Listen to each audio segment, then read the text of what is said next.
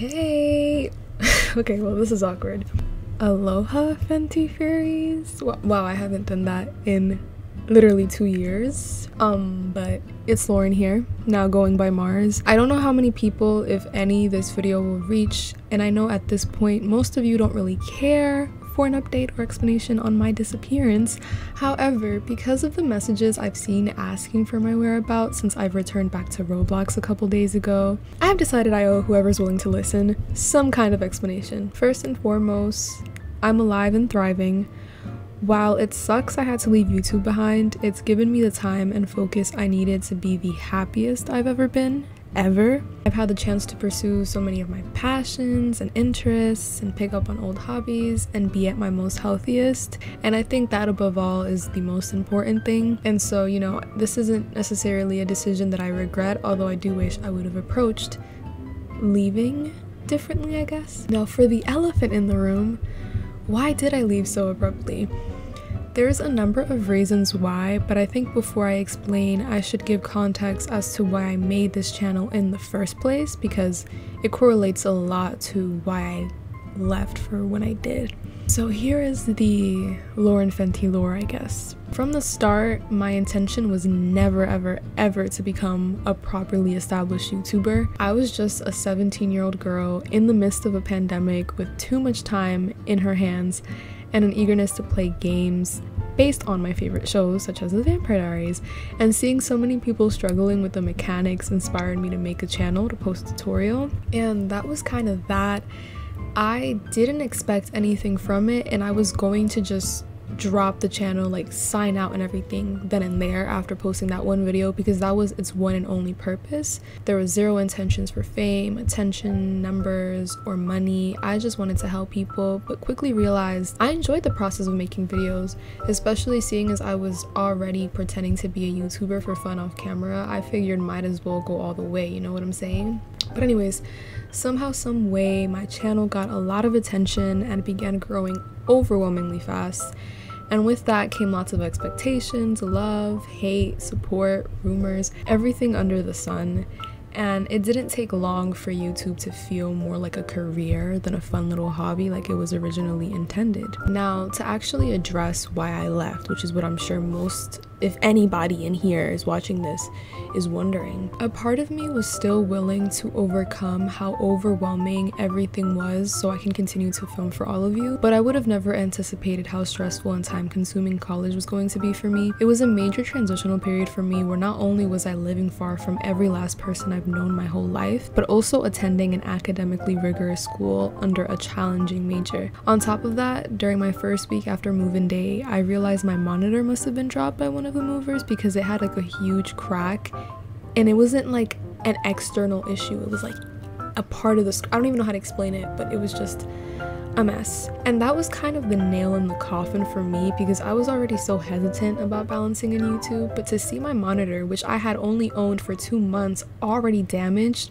was what really sealed the deal for me. I was already allocating a lot of my money towards school and basic necessities like groceries, so a new monitor was the very last of my priorities. And I wanted to make an announcement under my community tab, but I was under the assumption the break wouldn't be too lengthy, so that wouldn't be a necessity. However, my classes started taking up literally all of my time to the point I had no kind of social life and my mental health declined for a bit by then. So YouTube eventually wasn't even a forethought. Like I was just trying to survive on being real with y'all. And now I'm 20 and have a better grip on my life, my wellness, and how to balance things. Which brings us back to another possible question you guys may have. Am I coming back? Is this a comeback? I honestly am not too sure how to answer this. I'm highly considering coming back, but approaching things differently from how I did two years ago. Like, for one, I'd make a lot more gameplay, series based videos because as a kid, I loved watching people create their own storylines and film them on all sorts of games, such as Roblox. And writing is also just something that I'm very passionate about. Like I've always loved to write stories, read stories, and create, and I feel like that would be a really nice way of marrying two things that I enjoy. And a good example of that was my H2O series, which I unfortunately never finished. It was a lot of work to execute, but I enjoyed writing, filming, and editing it editing it thoroughly. Gameplays were also very fun for me, but I felt like I couldn't really do it because people were mainly asking for tutorials and updates. And even though, like I said, for me, this was never about numbers or fame. Since I had an audience, I felt at that point I owed it to you guys to post what you wanted to see, which is why I kind of held back on the gameplays and did mainly tutorials and updates.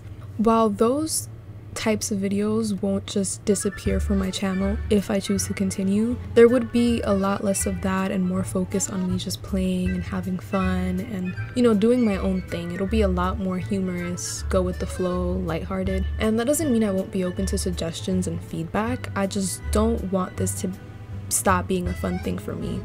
And I don't want it to feel like work, which was exactly the case two years ago.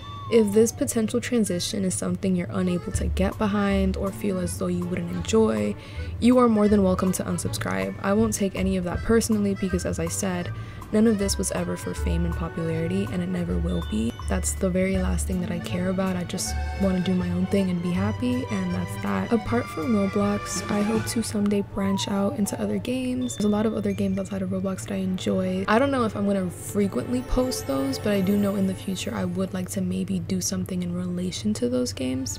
But like I said, I don't expect a lot of people to be behind that because for those of you that are still here and maybe still watching, I know that's not what you came here for, and if that's the case, like I said, you are free to go. Now, that brings us to the next topic, which is a potential rebrand if I do continue my channel. So, if I was to return, I would definitely change my channel name, and I'm not sure what exactly that name would be yet but it will definitely include Mars, which is the new name that I go by because it's been my online alias for a while now and it just feels more me than what Lauren was. Because Lauren was an, online alias that I chose when I was younger and a huge fan of Fifth Harmony, particularly Lauren Jauregui. And now, you know, not to say I don't support my girl Lauren no more, but you know, it's just not my name, it's not my thing. So I'm sticking to Mars. And like I said, if I move through with this rebrand, which is more likely than it is not, you can expect to start seeing uploads maybe sometime in August. I'm not too sure because I still have to sort of familiarize myself with editing and even just playing games in general because that's another thing. Like, apart from just putting a stop to the uploads, I also wasn't really playing games, period. Like, my whole life became literally everything else but gaming and the online world. So I had to get myself reacquainted with that, which shouldn't take me very long. And yeah, I already have a few potential video ideas there, so there's a bit of a plan in motion, but like I'm not too sure once again, like this is still all very brand new. Um, all I'll be needing for from whoever's still here is just a little bit more time and yeah, with that being said, if there's any video suggestions you guys have, by all means let me know. And yeah, if you've made it this far into the video, I want to thank you from the bottom of my heart for listening, regardless of whether or not you choose to stick around. And thank you to everyone who's had nothing but genuine concern for me over the last two years. I unfortunately didn't see any of those messages and comments and stuff till now, and I really do feel bad. Like, I wish I had approached leaving differently, but you know, I was only 18 at the time. I was a kid, which I know legally 18 isn't considered a child, but in my eyes it's still a child because developmentally you're not you're not in a place to make wise decisions until I'm, I'm gonna I'm gonna put the ramble to an end right there because if I start rambling, I'm never gonna stop. But um point of the matter is I was still a kid at the time and I was still going through a lot of transitions and a lot of change and a lot of foreign experiences. So I don't really hold it against myself how I handle things, but I do wish it was done differently. And yeah, I hope that this video gave anyone who cares even the slightest bit some answers and that maybe I'm able to transition back into this at some point within the next few weeks as authentically as I can. Hope you guys have a good one. I don't really know what else to say. Hopefully see you again soon. I don't know. We'll see.